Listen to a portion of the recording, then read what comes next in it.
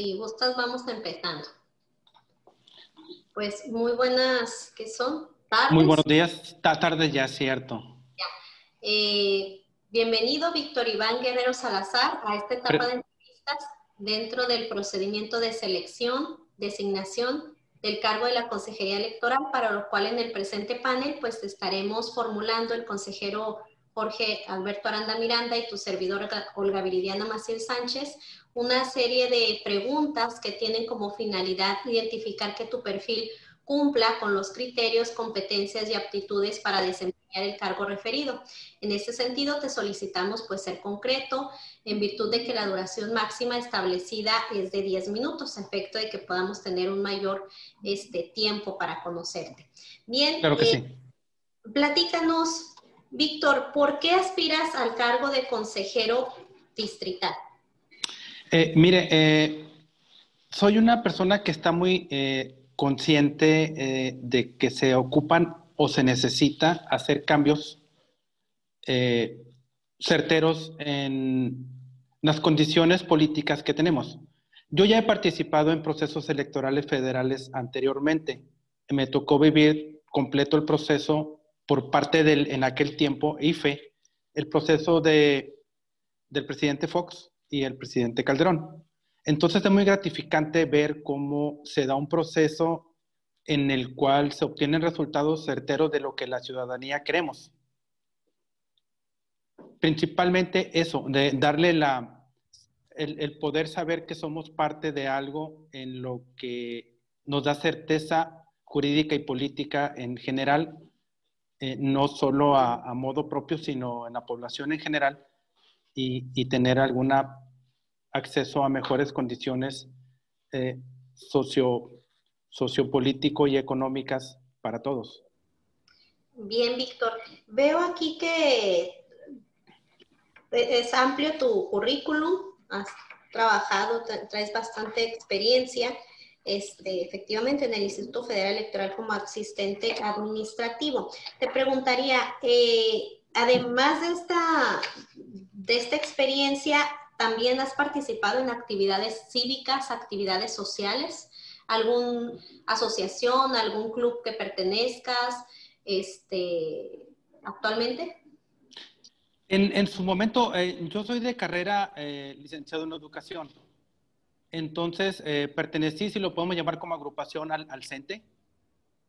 En, algunos años estuve cubriendo, solo que eh, a, la par, trabajaba ya en el Instituto Mexicano del Seguro Social y elegí quedarme con un solo lugar de trabajo. Entonces, actualmente soy miembro activo del Sindicato Nacional de Trabajadores del Seguro Social.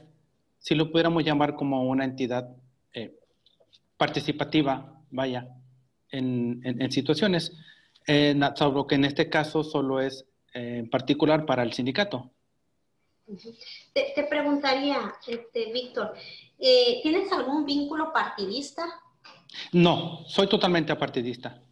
Soy muy eh, respetuoso de las decisiones y de las líneas de trabajo de cada quien, pero hasta la fecha ahorita, a mis 47 años, me he mantenido al margen de, de eso. No soy miembro de ningún partido político. Mira, e, el proceso electoral, ya digo, ya estuviste en alguna ocasión, ya formaste parte, ya sabes lo que, este, pues lo demandante que es en ocasiones el proceso electoral, sobre todo en, fechas muy particulares, ¿no? Ejemplo, los cómputos distritales. Actualmente, quisiera saber dónde te desempeñas y si tendrías el suficiente tiempo para estar desarrollando las actividades que se requieren en un consejo distrital. Actualmente soy trabajador de base del Seguro Social, pero sí cuento con el tiempo suficiente eh, para poder desempeñarme algún, algún tipo de actividad que me requiriera de tiempo completo sin problema.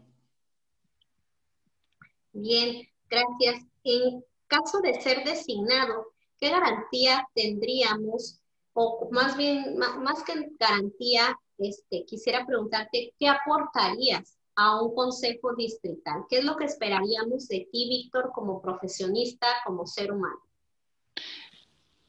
Yo creo que al final todos queremos, como lo mencioné al principio, una certeza de lo que elegimos es lo mejor para todos. ¿Qué les ofrezco? Bueno, el compromiso de sacar el trabajo adelante, el, el compromiso de realizar trabajo en equipo y el compromiso de poder llegar a metas. Eh, mi trabajo es muy demandante en tiempo y en metas y se tiene que cumplir, dado que es el sector salud, no hay margen de error. O se hace o no se hace.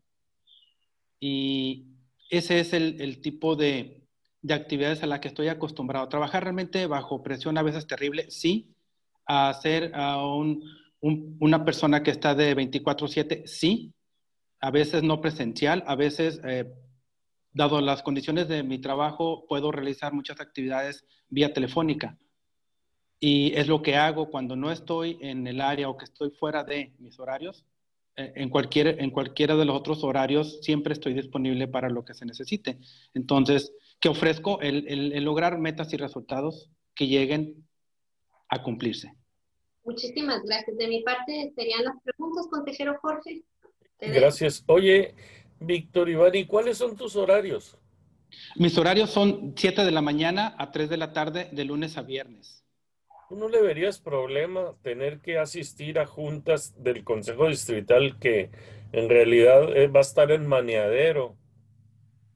No, sin problema. De hecho, mi movilidad es, es sin problema. Bien. Eh, en tu etapa laboral, en los lugares donde has estado, eh, platícame un caso difícil, una experiencia profesional o laboral que en la que hayas enfrentado presiones por parte de terceras personas para que tomaras alguna decisión con la que no estabas muy de acuerdo o cambiar una decisión que ya hubieras tomado y platícame una y qué hiciste, qué pasó. ¿Puedo hacer referencia a alguna situación de mi trabajo actual? Sí, claro. Ok, mire, en una ocasión eh, ah, nosotros trabajamos, bueno, yo trabajo en, el IMSS, eh, lo que es ahora bienestar. Antes éramos solidaridad.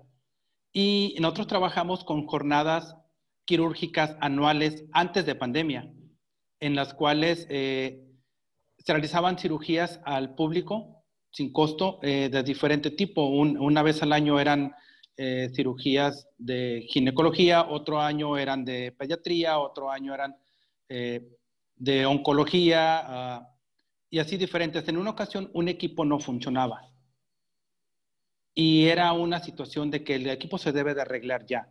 Y estaba, recuerdo, el coordinador del Estado, médico también, queriéndolo reparar y me quería decir cómo hacerlo.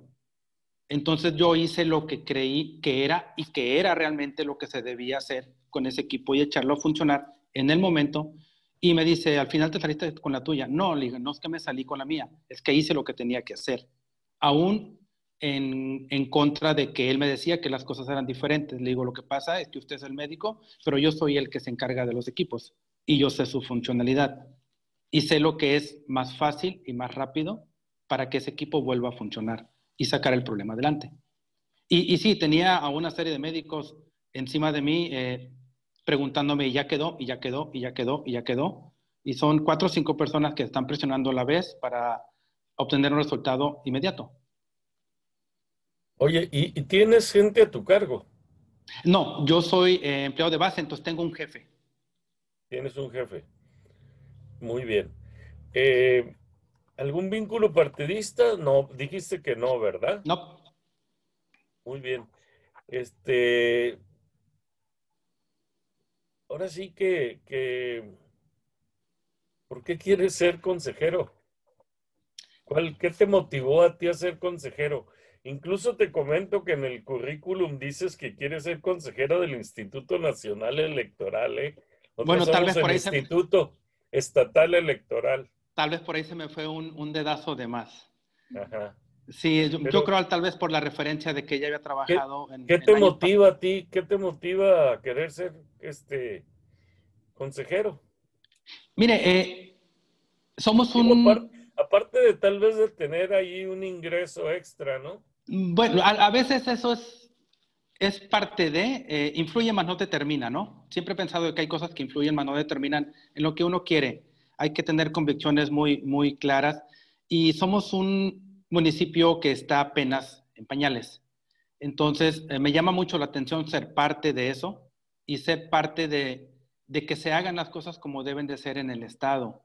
Eh, ciertamente hay muchas cosas con las que no podemos estar de acuerdo, pero es muy bueno criticar y quedarse cruzado de brazos. Es más complicado criticar, pero ser parte de, de esa crítica.